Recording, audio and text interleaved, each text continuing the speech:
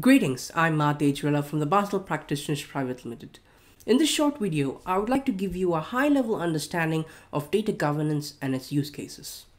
Data governance is generally mistaken to be the means of managing, improving, monitoring, maintaining, and protecting data. To some extent, that is what we want to achieve while implementation. But what exactly is data governance? Well, it helps define policies and procedures for maintaining data security and compliance. It is key to understand that governance is part of the overall management of data. In other words, data governance enforces the policies and procedures to manage the data lifecycle, whereas data management executes these pieces of information, which is then used for decision making.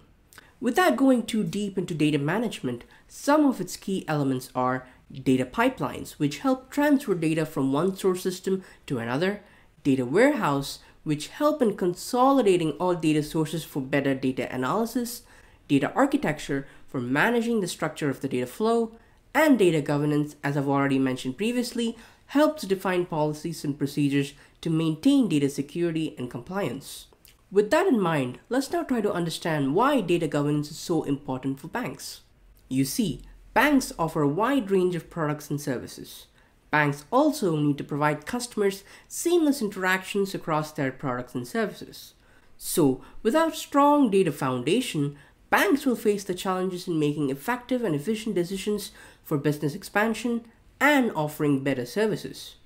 Depending on how effective the data is managed and analyzed can provide banks with a better insight into their services, the types of transactions their customers make, and their customers themselves. For example, a bank may be planning on expanding within a region. To do so, the bank would need to see what potential market it should expand or customers it needs to address. So without proper filtration and protection of data, financial institutions won't be able to differentiate between sensitive data that require higher levels of protection and unnecessary data. In fact, some banks lack the insight of their customer sensitive data and financial data which increases the risk of their data to be compromised. Banks need to understand that good data is critical to create a customer-centric bank. Before going over the different components of data governance, let's first understand at a high level the steps banks need to take in managing data and how it is linked to BCBS 239. Banks need to address four phases of the data management lifecycle collection, management, protection, and delivery. First, banks need to collect the data, segregate it, and store it wherever required. Then they need to manage the data by understanding who owns the data, how it is used, and who is accountable for maintaining it. These responsibilities must be documented to maintain proper data management.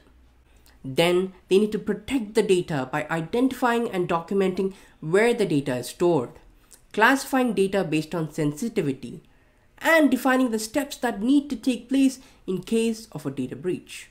Finally, they need to deliver the data to users or extract it from the systems and convert it into information banks can use to make decisions.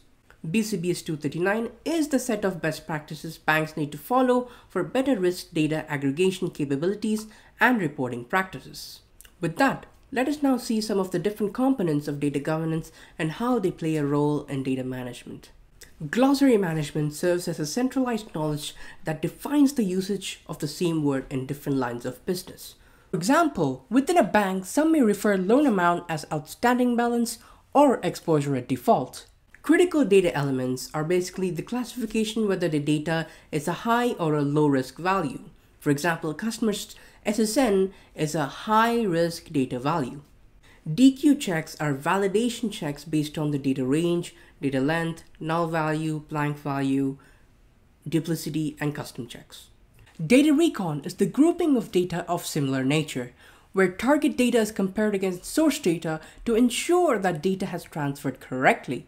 Reconciliation is done across multiple reports. For example, data in the MI reports can be compared with the data in reg reports or public disclosures. When it comes to adjustment framework, there will always be circumstances where banks need to adjust the data through an auditable manner. There are three cases to this. The first case is when data is missing in the SOR. The second case is when data points are missing in the application landing area. And the third is a completely wrong data entry. For these issues, we need to adjust the data through a make maker checker process. Controls focuses on observing and reporting on how processes work.